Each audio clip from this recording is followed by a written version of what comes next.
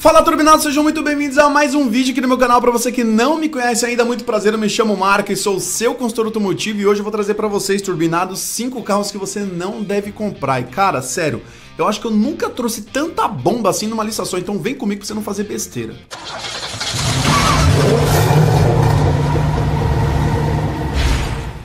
E para você não perder nada aqui no canal, porque todos os dias às 8 horas tem vídeo novo, cara, aproveita agora, já se inscreve aqui no canal, deixa seu like, ativa as notificações para você já saber o vídeo que vem amanhã.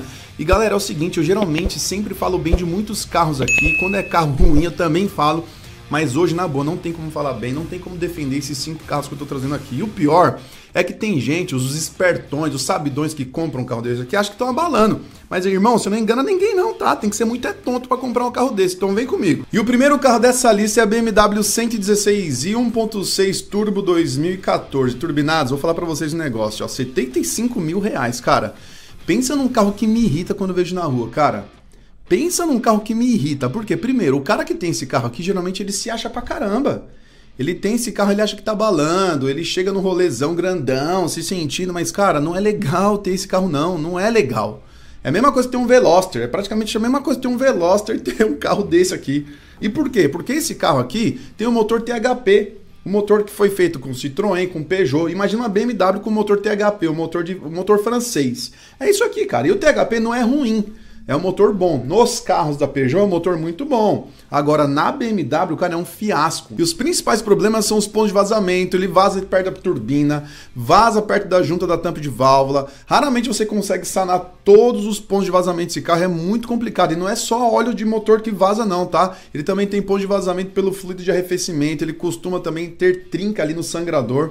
É um problema do caramba quando acontece isso. E o pior de tudo, cara, eles também dão problema de bobina tá? Então, fora a lista de opcionais desse carro que não vale a pena, geralmente são carros bem pelados, não são carros que valem os 77, 80 mil que pedem nele.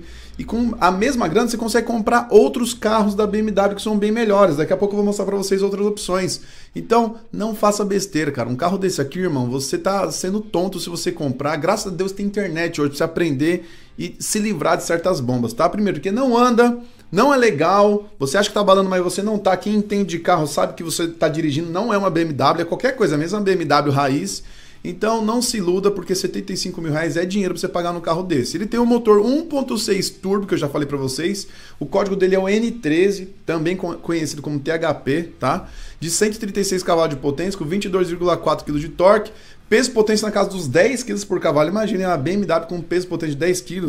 Imagina como deve ser lenta a desgraça dessa. Ó. Câmbio automático de 8 marchas, é o ZF8HP. O câmbio desse carro é bom, pelo menos isso, né?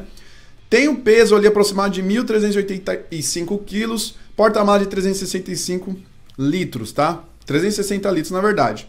Consumo desse carro, 8,5 na cidade e 11 na estrada. E 0 a 100 em 9 segundos. Cara, então assim, eu avisei, tá? E para você que acha que eu só vou trazer carro importado aqui, meu amigo, o próximo carro aqui é um tapa na cara para você ver que tem carro que você olha rodo na rua, carrinho popular que com dor no coração vou ter que trazer aqui, porque depois de um tempo, quando começaram a mexer nesse carro, a manutenção desse carro aqui passou a ser uma dor de cabeça e você vai entender por quê, cara. Vem comigo. E é com dor no coração, turbinados, que eu trago aqui o Ford Ka 1.5 2019. Turbinados, eu gosto pra caramba desse carrinho, é bonitinho, já fiz vídeo dele, já vendi esse carro. Esse motor 1.5 anda bem, um motorzinho bem esperto, é um foguetinho esse carro, o consumo dele é razoável, porta-malas grandão, é bonitinho também, eu acho bem bonitinho esse carro, cara, mas o problema aqui é o seguinte, cara. Do segundo dono em diante, você vai ver a dor de cabeça que vai ser para fazer manutenções periódicas desse carro, tá? Primeiro dono foi feliz com esse carro. Agora, do segundo em diante, vai chegar um momento que a correia dentada vai começar a deteriorar. E essa correia dentada desse carro, cara, é banhada a óleo e é dentro do motor. Esse motor 3 cilindros da Ford é uma bicanca para você mexer, cara. Todo mecânico que já mexeu nesse motor sabe. Para trocar uma correia desse carro aqui, cara, às vezes chega a beirar os 10, 15 mil reais para fazer a troca só por conta da mão de obra, que é bizarra. É bizarra. Então, fuja de motores 3 cilindros da Ford, cara. É triste. Eu sou Fordeiro, gosto, tenho Ford Fusion, já tive outros Ford, já tive Ford Fox, já tive vários carros da Ford. Eu gosto de Ford. Mas não dá para falar bem desse carro aqui, cara, por conta da manutenção. É para ser um carro popular, cara. Como, como que pode você fazer uma manutenção de 15 mil num carro popular? Nem no meu Fusion eu faço manutenção desse preço, cara. Nem na Edge. Já tive Ford Edge e não gastava isso para fazer manutenção. Você vai gastar no Ford K? Então toma muito cuidado, cara. E apesar disso, ele é um carrinho bom. Infelizmente tem esse problema. Tem o motor 1.5 que eu falei, aspirado de 136 cavalos de potência, 16,1 kg de torque, peso potência a casa dos 8 kg por cavalo. Tô falando que o carrinho é forte, cara. Tô falando para vocês. Câmbio automático de 6 marchas nessa versão, que é um dos pontos também que eu acho que não vale tanto a pena, não porque esse câmbio é ruim, porque é o 6F15, é um câmbiozinho bem confiável até de conversor de torque, mas o consumo dele acaba não ficando tão bom quanto a versão manual. Tem o porta-mala gigante de 445 quilos e o consumo dele 7,8 na cidade no álcool, 10 na estrada, 11 na cidade na gasolina e 14 na estrada. O consumo é bom também, mesmo sendo automático, mas o manual é melhor. Então, cara, com dor no coração eu falo, porque eu já falei bem desse carro. Fuja desses motores três cilindros da Ford, cara, porque a dor de cabeça aqui na hora que der pau nessa correia dentada vai ser grande. E agora vamos para mais um carro aqui que me irrita demais quando eu vejo na rua, porque dono desse perfil de carro, ou é aquelas patricinha que não tem a mínima noção do que tá dirigindo, ou é um cara metido a boizão, pá, que tem esse carro e acha que todo mundo que olha para ele tá admirando, tá achando lindo esse carro. E cara, vou falar a verdade para você, não, caia na real, meu amigo, ninguém tá achando legal, porque quem conhece de carro sabe que você tá numa bomba relógio. Quer ver? Vem comigo. E eu tô falando do Audi A1.4 Sportback Ambition 2013. Cara, por que que eu trouxe esse carro? É bonito? É. Vamos lá, ó. 77,900, tá? É um carro bonito? É. Eu não gosto muito, mas tem gente que acha. Audizinho A1 pro dia a dia ali, tem muita gente que acha muito legal. Interior dele é bem simplesinho, já começa por aí também que eu não vejo graça. Esse aqui ainda é banco de tecido, enfim. É um Audizinho, tá? Que para muita gente é uma realização comprar. Cara, eu entendo, tal, beleza, eu brinco assim, falo do perfil de dono, mas é, cara, enchendo o saco. Mas na boa, esse carro aqui tem o famigerado câmbio DQ200 caixa seca. Por isso que eu não recomendo, sem contar que a manutenção desse carro é bizarra. Mas todo Audi tem manutenção, o cara tem. Mas uma amiga minha teve problema com esse farolzinho aqui, ó que tem esse LEDzinho diurno aqui, ó, dentro do vidro. Ela foi trocar isso aqui, custou 13.500 reais para trocar esse farol. Fora que na Audi os caras cobravam a diária para deixar o carro lá até chegar o farol. Tem mais essa ainda, acho que era 300 reais a diária para o carro ficar lá. Vê se tem lógico um negócio desse. Então, cara, câmbio DQ200, fujam desse câmbio, cara. Qualquer carro que tem esse câmbio, até o Golf lá 1.4 TSI também tem esse câmbio, fuja, porque esse câmbio aqui é uma encrenca, cara. Não tem para onde correr, tá? Ele tem um motor 1.4 turbo de 185 cavalos de potência, 25,5 kg de torque. É um carrinho que tem, meu, tem desempenho, tá? Você vai pensando que ele não anda, ele anda assim, pelo menos isso faz. Diferente daquela 116i lá, que é, é uma. Ai, gente, eu não vou nem falar nada, mas enfim. E tem o câmbio automatizado 7 marchas, que é o bendito do DQ200 que eu falei para vocês, cara. Embreagem dupla seco tá bom? Caixa seca não adianta, cara, tem que fugir. Isso foi um dos piores erros da Audi, esse câmbio daqui 200, tá? Esse carro tem o porta-malas de 270 litros, bem pequenininho, pesa 1.215 quilos, isso ajuda ele a andar bem, porque é um carro leve. E tem um consumo de 10,5 na cidade na gasolina e 13,7 na estrada. O consumo dele é até bom. Enfim, cara, manutenção cara e câmbio DQ200. Fujam desse carro aqui, tá? Não caiam nessa. E quem acha que tá abalando, cara, dirigindo um A1 desse aqui, ó quem tiver a mínima noção sabe que não vale a pena. Então, antes de queimar o seu dinheiro comprando um A1, olha a grana que você vai gastar nesse carro, cara. Tem muito carro bom por 77, 78 mil, não faz besteira, não. E o próximo carro dessa lista, Turbinas, é um carro que eu queria tentar entender o que faz um cidadão sair de casa e falar: vou comprar essa versão deste carro hoje eu não consigo entender, cara. Eu só consigo acreditar que um cara compra esse carro por impulso. Chegou na loja, o vendedor caiu na orelha dele ali, foi na lábia e convenceu o cara a comprar. Porque se ele tem o um mínimo de noção, ele não compra uma birosca dessa. Vem comigo. E eu tô falando da BMW 316i 1.6 Turbo 2015, turbinados, por 93.800. Cara, o pior de tudo é o preço desse carro. É o preço, porque a 116i lá que eu mostrei para vocês, ó, Tá aqui na casa dos 75 mil. É caro pra caramba também? É. Mas pelo menos ainda é mais razoável e principalmente pelo motivo que eu vou dar para vocês. Cara, olha esse carro aqui, turbinados. Ele tem toda uma cara ali de. Olha essa roda primeiro, que coisa horrível que ficou, cara. Minha nossa, olha a interna do carro, irmão. O cara fez aqui, ó, uma personalização. Ele gastou dinheiro nesse carro, hein? O antigo dono, ó, banco desga... volante desgastado aqui, Olha aqui, cara, ele fez tudo bicolor, com duas cores que para mim ficou ridículo. Meu senhor, cara, isso é ridículo.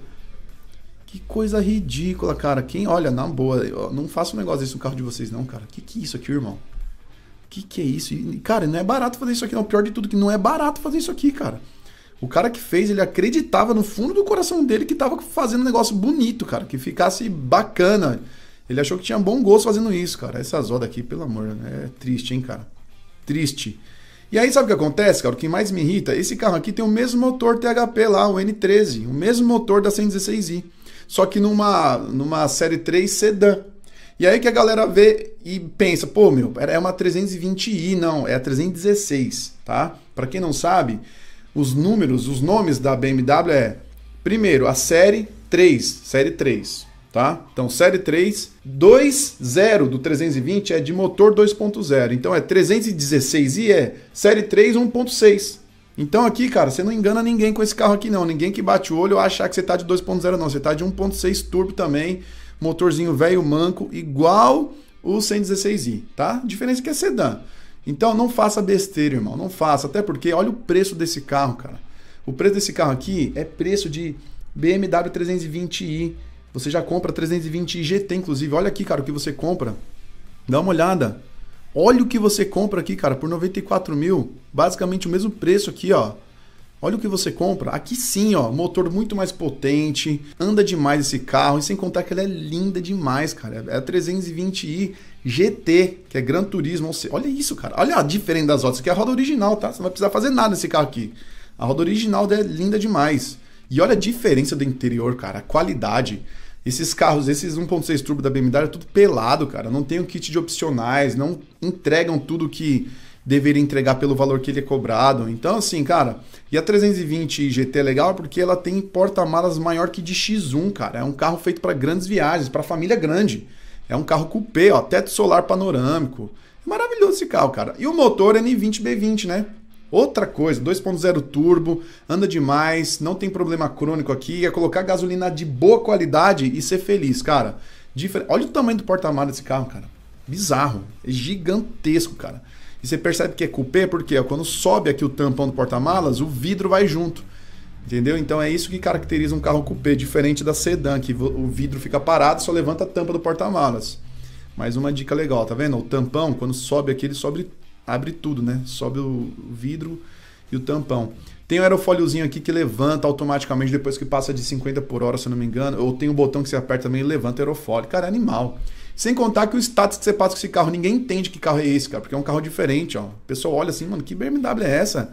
GT, olha aqui, até entender que é uma 320 GT, você já conseguiu ali valorizar o seu patrimônio em 100, 150 mil reais, porque a galera não entende que carro é. Então não faça besteira de pegar uma desgraça dessa aqui não, meu amigo. Ó, motor 1.6 turbo, principalmente com a interna horrorosa dessa aqui. Desculpa, cara, não tem como proteger, mano. É bizarro. E esse carro tem números aqui, ó, muito parecidos com a da 116i, tá? Motor 1.6 turbo, de 136 cavalos, 22,4 kg de torque, peso potência na casa dos 10 kg por cavalo, é o câmbio F8 HP também, aquilo que eu mencionei. Tem um porta-malas um pouco maior, né? 480 litros. 0 a 100 na casa dos 9 segundos e consumo na cidade 9,7 e na estrada 12,9. Consumo até que é razoável por conta muito do câmbio também. Então, irmão, fuja dessa tranqueira aqui, porque pela mesma grana, ó, você pode pegar uma BMW de verdade aqui, ó, porque aqui sim você vai chegar bem montado em qualquer lugar. E para você que ficou bravo aí comigo porque é dono de algum desses carros que eu trouxe aqui na lista, cara, não fique bravo não, não leve seu coração, cara. Tudo que eu trouxe aqui é, infelizmente, é verdade, não tem que dizer. Qualquer especialista sobre carros, qualquer pessoa que entenda sobre carros vai dizer que tudo isso aqui que eu tô falando é verdade. Tô trazendo problemas crônicos aqui reais para vocês, tá? E pontos importantes que não fazem valer a pena a compra desses carros. Infelizmente, irmão, tá? Mas para você que tá bravo comigo, você vai se vingar um pouquinho agora, porque o próximo carro dessa lista é meu. E você vai ver que é um carro que eu estou vendendo, tá? Então eu não tô trazendo só o carro para falar dos outros, não, é um carro que eu tô vendendo também. O carro vai entornar para mim agora, beleza? Mas antes de mostrar o carro, aproveite, se você chegou até aqui, aproveite e deixe seu like faz a sua inscrição no canal e ativa as notificações para não perder o vídeo de amanhã, beleza? Mas sem mais delongas, vamos lá para esse carro que eu que estou vendendo, você vê a encrenca que é. E olha aí, turbinados, Land Rover Range Rover Sport 3.0 V6 2015 por 249 mil reais, 84 mil quilômetros rodados, é um carro fantástico, cara. Vou falar para vocês. Não, olha, é um dos carros mais legais que eu já vendi e mais divertidos. Olha, olha a tela desse carro, a multimídia, esse carro é 2015. Olha a interna dele, ó, impecável. A interna dele foi toda feita na Chiron Race. Quem conhece aí sabe que é referência em personalização, estética automotiva aqui em São Paulo. Essa multimídia aqui, só isso aqui, cara, ó, só esse kit todo aqui custou mais de 60 mil reais, porque já é da versão 2024, 2025, não sei. Mas é das mais atualizadas. E o cara foi lá e gastou uma grana para fazer a personalização da interna e colocar essa multimídia aqui com esse painel aqui, ó, digital, do ar-condicionado. Cara, é um carro maravilhoso. E, ó, é difícil falar desse carro porque eu tô vendendo. Mas eu tenho que falar a verdade, cara. É um carrinho que tem alguns pontos de atenção. Que assim, ah, manutenção é cara. Óbvio que é cara, né, cara? Olha o teto solar panorâmico. Manutenção, óbvio que é cara. Mas o que eu vou falar desse carro aqui, não, não é, eu quero trazer os pontos que vocês ainda talvez não saibam, tá? Das Land Rovers, cara, essa daqui é uma das mais complicadas de mercado. Então esse é um ponto que já faz você pensar bem. Quem tem esse carro é feliz. Meu cliente é feliz da vida com o carro. Onde ele chega, ele tá bem. Quem bate olho sabe, respeita e reconhece que é uma nave que o cara tá pilotando. Motorzão 3.0 V6. Já vou falar da, das características desse motor. Mas o problema é que é um carro, cara, que não tem mercado, é difícil o mercado. O que vende hoje da Land Rover ainda é Evoque e Velar, é o que ainda sai.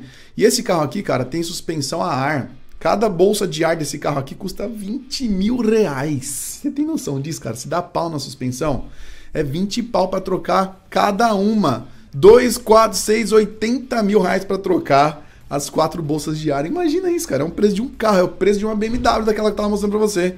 Então, enfim, não, não dá para falar para vocês que isso aqui não, não tem as suas consequências, tá? Apesar de que para quem tem grana, isso daqui, cara, não é um problema manter. O cara vai comprar e vai ficar de boa. Porque a grande questão aqui é, esse carro, eu estou vendendo ele com um ano de garantia, olha aqui, ó. Um ano de garantia no plano Black da Gestalto Brasil. E esse carro acabou de passar por uma revisão de 25 mil reais, que foi feita há menos de um mês aí e o carro tem apenas 84 mil quilômetros rodados. Então, quem comprar isso aqui, tem condições de manter, irmão? Você é um cara, isso aqui não é para qualquer um, tá? Você tem condições de manter?